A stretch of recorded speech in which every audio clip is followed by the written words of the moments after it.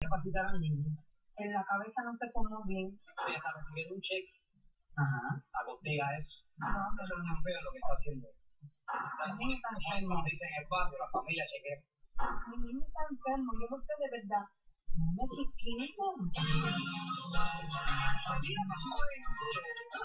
Mira.